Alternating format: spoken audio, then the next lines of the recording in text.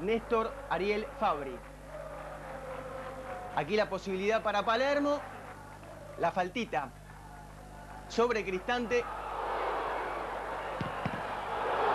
Y aquí responde bien el número uno de Huracán. El partido todavía proseguía con el resultado empatado, 0 a 0. Buenos reflejos del ex arquero de Newell's, de Platense y de la selección nacional. Grueso error de Oscar Córdoba imitando a su compatriota René Guita en la Copa del Mundo del 94 y Huracán que se pone en ventaja.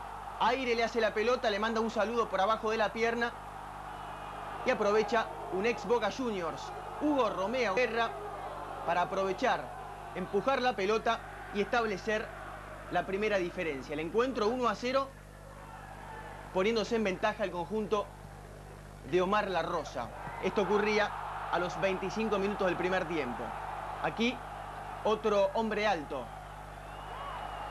que aprovecha el centro entrando por el segundo palo era el Alto Palermo. El partido 1 a 1, 35 minutos del primer tiempo.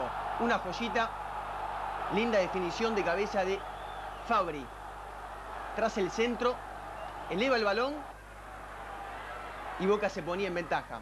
Minuto de juego, 39. Un golazo de un muy buen jugador, Daniel Montenegro. Para Huracán, 42 minutos, primer tiempo, el bombazo y el partido empatado 2 a 2. Lo da vuelta el globito, pero Boca es más en la altura. Otra vez Fabri, una de las figuras de este encuentro, nuevamente con su fortaleza de arriba. 35 minutos, segundo tiempo y Boca pasaba a ganar el partido 3 a 2. Después, César Lapaglia, el Leche, que había ingresado por Cardoso, establece la victoria del Geneise 4 a 2. Arriba.